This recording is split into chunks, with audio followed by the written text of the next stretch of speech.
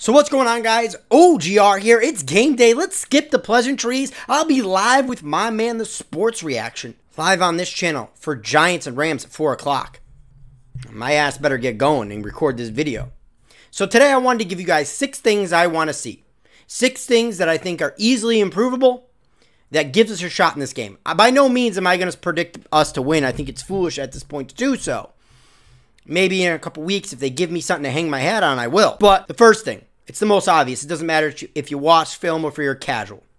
Daniel Jones, don't turn the ball over. I want to see one or none turnover in this game, one or less. That's all you got. Two, Jason Garrett, I'm looking at you. Some semblance of a run game. I don't care if you're running draws. I know a screen's not part of the run game, but keep this defense off balance. Make it so they can't pin their ear backs and just go at Daniel Jones' ham. Run the ball at Aaron Donald. Yes, I said at Aaron Donald. And go to the left. So many of our runs go to the right. Go to the left. We got Will Hernandez. We got Andrew Thomas. These guys are motor graders. I'll mow the road down. Let's go to the left of that line. Majority of our runs go to the right. Why? Keep teams guessing. Three. Jason Garrett again. Wide receivers. Get open. Help your quarterback out.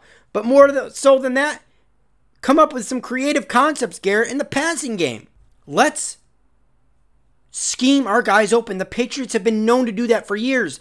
I'm not saying rub route because it's illegal, but rub route. it's illegal, but you can get away with it if you do it right. Do something. Get creative.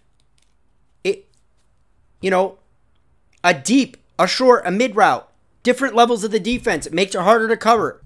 I'm looking at you, Jason Garrett. A lot of it's on you. You know, obviously, I, I already addressed Daniel Jones with the turnovers. Four, Graham, defensive coordinator. You're up to bat. Let's get off the field on third down. We're worst in the league. I need something from you. Scheme it, do something. Yes, at the end of the day, it's on the players to perform on the field. But obviously, part of that is your play calling. The reason why we're giving up third downs. The fifth one, I'm looking at Graham and I'm looking at him to play to the strengths of this team. If you look at our guys, our strengths are man to man. I feel we've been running way too much zone. So let's you play to your strengths. Because San Fran was picking apart our zone all week last week. Man to man. I'm not saying every play's got to be man to man. Play man to man. Man to man, as Billy Packer would say. And six, Let's get a big play. A big run, a big pass, a long touchdown run. Maybe it comes from the special teams or defense. Something to fire up these guys early and give them confidence going into quarters two, three, four. So it can really, you know, let this team go forward. You get this team fired up early, maybe we got even more of a fighting chance. Maybe that even means a win. I'm going to ease off on that. And now back to reality. My prediction.